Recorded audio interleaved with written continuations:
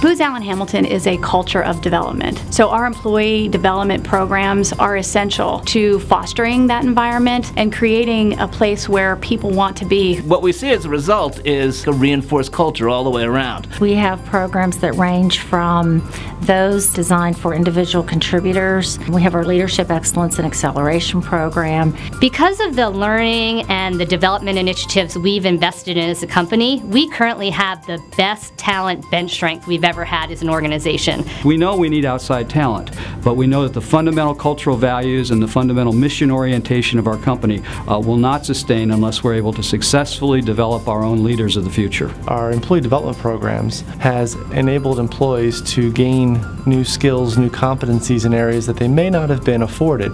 Mentoring at Deltek is all about leading by example and creating an environment and a culture of learning from the top down in the organization. Employee mentoring is a reciprocal relationship. Both parties in the relationship should benefit and really through gaining greater insight into others' perspectives and learning from them. It's about listening and it's about teaching. You have the opportunity to learn from people so that you can grow, you can come up with new ideas, you can hear different perspectives. We've taken the informal cultural roots of our mentoring program and we've turned them into a more formal program that helps people align with people that can show them a path for professional development. If I had to use one word to describe our development programs, I would say that they're relevant, fun, and strengthening.